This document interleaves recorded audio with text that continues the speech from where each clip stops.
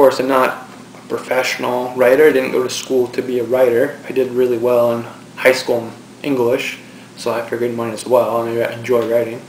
Um, but yeah, I'm really writing about a passion I have as far as um, employment for teenagers and young adults, and I really strongly feel that um, teenagers and young adults struggle with their jobs in the sense they might not know always what to do in the work environment, and they might not always get the most they the most that they can out of their jobs.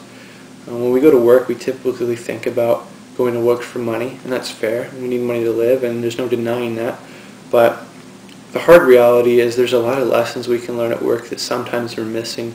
And so the point of this book is to really help teenagers and young adults grasp a chunk of those lessons in the workplace so they can use them to become better people, to develop their skills and abilities, and to really develop their self-confidence and their independence, and to become adults who are fully competent and who are continual learners.